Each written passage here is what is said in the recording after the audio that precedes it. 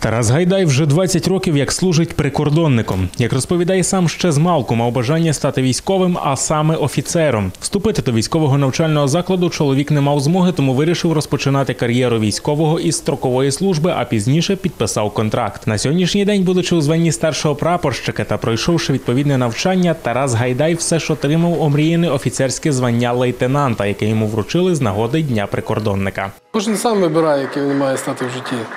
Наприклад, для мене це відігравало якусь таку свою роль е, добитися того, щоб стати офіцером.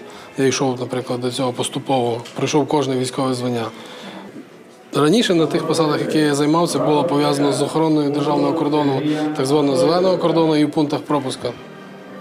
А зараз вже займаюся забезпеченням.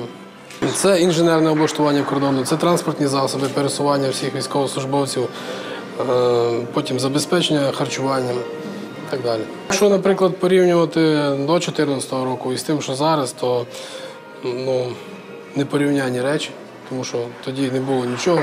А зараз і от у нас зараз на відділі 60 строковиків, е, всі мають по дві форми одягу.